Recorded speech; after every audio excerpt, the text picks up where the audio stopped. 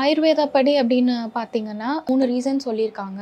ஹீன, அதிமித்யா அதாவது over intelligence, less intelligence and wrong intelligence of கால அதாவது டைம் அண்ட் uh, உங்களோட சென்ஸ் ஆர்கன்ஸ் அண்ட் கர்மா. கர்மாங்கிறது இதில் ஆக்ஷன். நம்ம என்ன ஆக்ஷன் பண்ணுறோம். இப்போ சம்மர் சீசன் அப்படின்னு எடுத்துக்கிட்டிங்கன்னா, யூஸ்வலாக வந்து ஹாட்டாக இருக்கும். ஸோ அந்த ஹாட் டெம்பரேச்சர் வந்து ரொம்ப ஹாட்டாக இருக்குது இல்லை அதுக்கு அப்படியே ஆப்போசிட்டாக மேபி உங்களுக்கு திடீர்னு மழை வருது அப்படின்னு இருந்துச்சுன்னா, உங்களோட பாடியில் சில சேஞ்சஸ் நடக்கும். அதாவது தோஷாஸ் வந்து சில டைம் அக்ரவேட் ஆகும். இல்லைன்னா லெஸ்ஸாக இருக்கும். ஸோ இந்த சேஞ்சஸ் நடக்கும்போது, இதனால ஒரு டிசீஸ் கண்டிஷனோ, ஒரு ஃபீவர் வரதோ, ஒரு காஃப் வரதோ, கோல்டு வரதோ, ஸோ இந்த மாதிரி கண்டிஷன் கண்டிஷன்ஸ் வந்து உங்களுக்கு மாறும். அதுக்கப்புறம் உங்களோட சென்ஸ் ஆர்கன்ஸ். சென்ஸ் ஆர்கன்ஸ் அப்படின்னு எடுத்துக்கிட்டோம்னா, சே ஒரு ஹியரிங் நம்ம ஒரு விஷயத்த கேட்குறோம். ரொம்ப லவுடாக இருக்குது நம்மளோட ஹியரிங் அந்த டெசிபிளை தாண்டி ரொம்ப சத்தமாக கேட்குறோம். ஆர் வால்யூம் ரொம்ப லோவாக இருக்குது அந்த லோ வால்யூமில் கேட்குறோம். அப்படின்ட்டு இருக்கும்போது, அதுவும் உங்கள் பாடியில் சேஞ்சஸ் ஆகும்.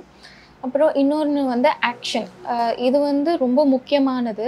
அதாவது ஆயுர்வேதால இதில் பிரக்ஞா அபாரதா அப்படின்னு சொல்லுவாங்க. அப்படின்னா என்னென்னா நம்ம ஒரு விஷயம் நம்ம பண்ணுறது தப்புன்னு தெரியும். அது நம்மளோட நாலேஜுக்கு அது தப்புன்னு தெரிஞ்சும் அந்த விஷயத்த பண்ணுவோம். ஸோ இதனாலேயே நிறைய ப்ராப்ளம்ஸ் ஃபேஸ் பண்ணுவோம். ஒரு எக்ஸாம்பிளாக நான் சொல்லணும்னா, வெளியில் போய் நம்ம ஒரு ஜங்க் ஃபுட் சாப்பிட்றோம். அது நம்மளுக்கு நம்ம பாடிக்கு நல்லதில்லைன்னு தெரியும். ஸோ அது தெரிஞ்சும் நம்ம இது ஒரு டெய்லி ஒரு ஹேபிட்டாகவே வச்சுட்ருப்போம்.